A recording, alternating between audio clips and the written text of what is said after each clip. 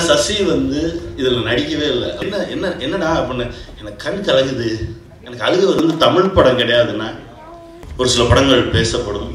ஒரு பத்து வருஷம் பேசுவாங்க இருபது வருஷம் பேசுவாங்க ஐம்பது வருஷம் பேசுவாங்க நூறு வருஷம் பேசுவாங்க. ஆனால் இந்த திரைப்படம்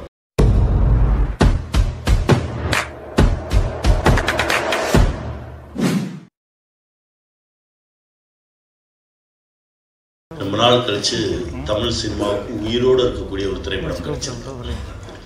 ஒரு சில படங்கள் பேசப்படும். ஒரு பத்து வருஷம் பேசுவாங்க இருபது வருஷம் பேசுவாங்க ஐம்பது வருஷம் பேசுவாங்க நூறு வருஷம் பேசுவாங்க. ஆனால் இந்த திரைப்படம் இந்த இண்டஸ்ட்ரி இருக்கிற வரைக்கும் பேசிக்கிட்டே இருக்கும். அப்படி ஒரு திரைப்படம்.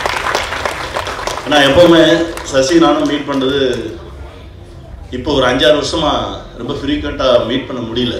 ரொம்ப கேப் விட்டு கேப் விட்டு தான் மீட் பண்ணுவோம். அப்படி மீட் பண்ணும்போது அவர் பண்ணிட்டு இருக்கக்கூடிய ஒரு அஞ்சு கதையை சொல்லுவார். நான் என்னென்ன பண்ணிட்டு இருக்கேன் இந்த கதையை சொல்லுவேன். அப்படி ஒரு நாள் மீட் பண்ணும்போது ஒரு நாலு கதை சொன்னார். இந்த கதை பண்ணுறேன் இந்த கதை பண்ணுறேன் இந்த கதை பண்ணுறேன் அதில் இந்த கதையை சொன்ன உடனே நான் சொன்னேன் சரியான விஷயம் மாட்டிருக்கடா ஏன்னா இந்த மாதிரி கதைகள் ஆக்டர்ஸையும் தயாரிப்பாளர்களையும் அது தேர்ந்தெடுக்கும். அப்படி தான் தேர்ந்தெடுத்திருக்கு. ஏன்னா சசி வந்து இதில் நடிக்கவே இல்லை. அவனோட ஒரிஜினல் கேரக்டர் தான். நான் கூடவே இருக்கிறதுனால எனக்கு தெரியும். அது நிஜமாவே அப்படிதான். ரோட்டில் போகும்போது எங்கேயா ஒன்று பக்கத்தில் இருக்கிறவனுக்கு பாயசம் ஊற்றலாம் கூட கத்துவான். அவனுக்கு ஊத்து அவனுக்கு ஊத்து. இருடா ஊத்துவாங்கடா. அந்த மாதிரி ஊத்தேன் ரொம்ப பாசக்காரன். எல்லாரும் நல்லா இருக்கணும்னு நினைக்கிறேன். அவன் மனசுக்கு ஏற்ற மாதிரி ஒரு படம். மந்திரமூர்த்தி வாழ்த்துக்கள். அண்ணன் சுரேஷ் அண்ணன் சொன்ன மாதிரி எங்கே கேப் விடணும். ஏன்னா எல்லாரும் எடுப்பாங்க. எங்கே கேப் விடணும்னு சொல்லி கொஞ்சம் கைதெறிந்த கலைஞனுக்கு தான் தெரியும். அது உங்களுக்கு நல்ல கைகூடி இருக்கு. நிறைய இடத்துல விளையாடி இருந்தீங்க. ஏன்னா நம்ம நான் இங்கே வச்சு பார்க்கல. நான் ஹைதராபாத்தில் பார்த்து படம் பார்த்தேன். அப்போ என் பக்கத்தில் வந்து ஒரு விவி விநாயக் சார். அவர் வந்து நம்ம அண்ணன் மாதிரி அதிரடி ஆக்ஷன் கமர்ஷியல் டைரக்டர் என் பக்கத்தில் உட்காந்துட்டு என் கையை பிடிச்சிட்டு இருக்காரு. என்ன என்ன என்னடா அப்படின்னு. எனக்கு கண் கலகுது. எனக்கு அழுக வருது அப்படின்னு. அதுதான் அந்த படத்தோட வெற்றி. ஏன்னா தமிழில் ஓடிட்டு இருக்கு ஒரு தெலுங்கு இயக்குனர். இன்னும் சொல்லணும்னா ஒரு பத்து நாள் முன்னாடி நான் அண்ணனுக்கு ஃபோன் பண்ணேன் ரவி அண்ணன் படம் பார்க்கணுன்றாங்க அப்பதான் அண்ணன் சொன்னார் அமேசானில் இருக்கு. ஏன்னா சுத்தி அந்த படம் சுத்தி எங்கிட்டே வருது. இப்படி ஒரு படம் அயோத்தின்னு ஒரு படம் நீங்க இம்மீடியட்டாக பாருங்க. நீங்க டைரக்ட் பண்ணீங்களா தெலுங்குல? ஐயோ அது என் தம்பி படம் எங்க அண்ணன் எடுத்த படையா? என்கிட்டே வந்து சொல்றீங்க நான் ஏற்கனவே பார்த்துட்டேயா அப்படின்னு சொல்லி ஆரம்பிச்சோம். அதுதான் ஒரு திரைப்படத்தோட வெற்றி.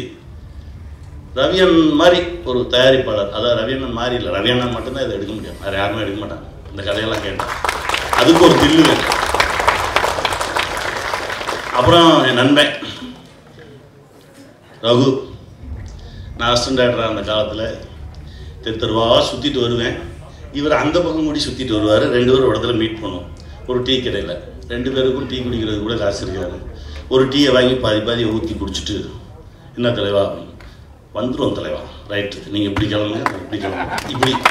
இந்த மாதிரி ஒரு நண்பன் சுற்றி அடித்து ஒரு இடத்துல வந்து இப்போ நிற்கிறது பார்க்கும்போது ரொம்ப மகிழ்ச்சியாக இருக்குது இந்த படத்தில் வேலை பார்த்த ஒவ்வொருத்தருக்கும் என்னுடைய மனமார்ந்த வாழ்த்துக்கள். பிரீத்தி.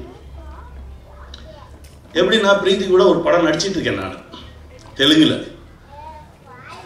யார் அந்த பொண்ணு? ஒன்றரை அடி இது பயங்கரமாக நடிச்சிட்டு இருக்குது அப்படின்னு சொல்லி பார்த்துட்டு இருக்கும்போது திடீர்னு விறுவிறுன்னு வந்துச்சு.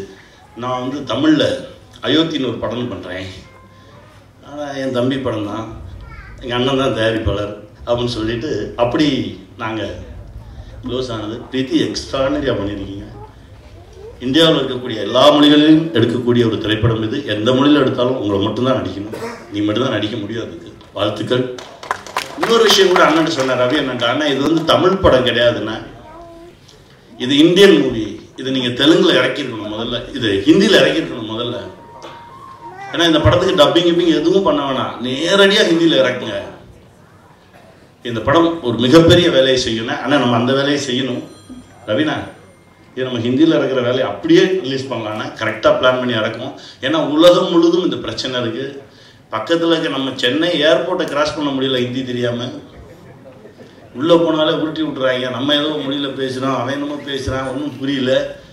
ஸோ மொழின்றது எவ்வளவு தூரம் நம்மளை இடிச்சிக்கிட்டு இருக்கு அப்படின்றது அதையும் தாண்டி மனிதம் வெல்லும் அப்படின்ற ஒரு விஷயத்தை ரொம்ப ஆழமாக வலியுறுத்தினேன் அயோத்தி திரைப்படத்திற்கும் இந்த படத்திற்காக உழைத்த ஒவ்வொருவருக்கும் என்னுடைய நண்பர் எஸ் ராமகிருஷ்ணன் அவர்களுக்கும் என்னுடைய மனமார்ந்த நன்றி. வாழ்த்துக்கள். நன்றி.